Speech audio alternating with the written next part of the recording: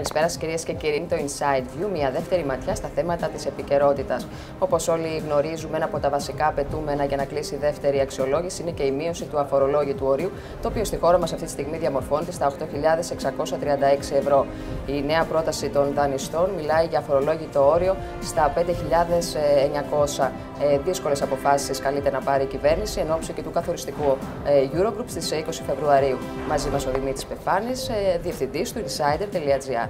Δημήτρη, καλησπέρα. Καλησπέρα και καλή εβδομάδα τέτα. Πραγματικά βρισκόμαστε μια εβδομάδα πριν από το κρίσιμο Eurogroup της 20η ε, Φεβρουαρίου και πλέον η Ελλάδα επανέρχεται ξανά για κακό λόγο στα πρωτοσέλιδα και των διεθνών μέσων ενημέρωσης. Έχουμε το κομμάτι λοιπόν του αφορολόγητου που πολύ σωστά είπες. Υπάρχει μια συμβαστική με χωρίς εισαγωγικά πρόταση των ε, θεσμών στα 5.900 ευρώ. Το λέω συμβαστική γιατί το Διεθνές Νομισματικό Ταμείο έχει ζητήσει αφορολόγητο στα 5.000 ευρώ.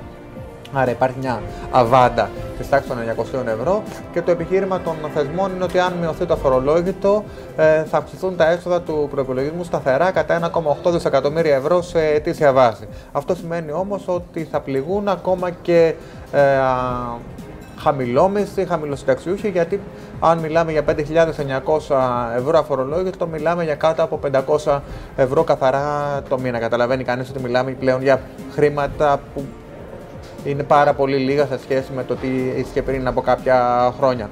Ε, το θέμα είναι ότι όπως προκύπτει και από τα διεθνή μέσα ενημέρωσης, η Ελλάδα βρίσκεται, φαίνεται να βρίσκεται αυτή τη στιγμή με την ε, πλάτη στον τοίχο, καθώς βρίσκεται αντιμέτωπο με ένα ενιαίο ε, μέτωπο των δανειστών, με τόσο το Bloomberg όσο και τις Financial Times να αφιερώνουν μακροσκελή δημοσιεύματα για την χώρα, παρουσιάζοντας το τι πρόκειται να γίνει. Οι Financial Times εκτιμούν από την πλευρά τους ότι νομοτελειακά το Διεθνές Νομισματικό Ταμείο θα κληθεί να φύγει από το ελληνικό πρόγραμμα, το οποίο όμως σημαίνει ότι υπάρχει μετά μια πιθανότητα, ουσιαστική πιθανότητα το καλοκαίρι η Ελλάδα να μην μπορεί να εκπληρώσει ε, τις υποχρεώσεις, τους στόχους τη και να βρεθεί αντιμέτωπη για ακόμη μια φορά με το, φάσμα του, με το φάντασμα του Brexit, λίγους μήνες μάλιστα πριν τις ε, γερμανικές εκλογές. Από την άλλη, το πρακτορείο Bloomberg κάνει λόγο για ένα τέταρτο μνημόνιο, λέγοντας ότι ακόμα και αν κλείσει η αξιολόγηση, πάλι σε μικρό χρονικό διάστημα από τώρα, η Ελλάδα πάλι θα κληθεί να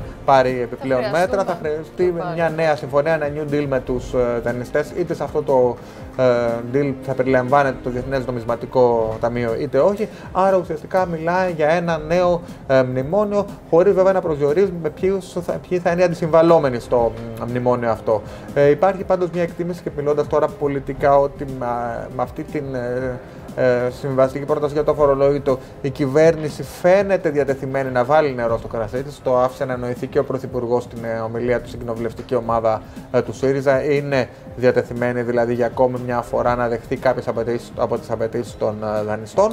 Το θέμα είναι χρονικά πλέον. Τα περιθώρια έχουν στενέψει πάρα πολύ. Είναι αρκετά δύσκολο σε μια εβδομάδα να κλείσουν όλα τα ανοιχτά μέτωπα. Αυτό που θα μπορούσε να προσδοκάει η κυβέρνηση είναι μια, ένας τύπου πολιτική συμφωνία στο Eurogroup της 20η ε, Φεβρουαρίου ουσιαστικά να έχουν τεθεί οι βασικοί άξονες συμφωνίας και εν συνεχεία σε τεχνικό επίπεδο να κλείσουν οι λεπτομέρειες όσο, όσο το δυνατόν πιο σύντομα μέσα στο Μάρτι, αρχές Μάρτι δηλαδή, να κλείσει η δεύτερη αξιολόγηση ή τουλάχιστον ένα ικανοποιητικό κομμάτι της ε, δεύτερης αξιολόγησης που θα μπορέσει να δώσει στην ελληνική οικονομία ανάσα και ρευστότητα μέχρι τουλάχιστον τις γερμανικές εκλογές.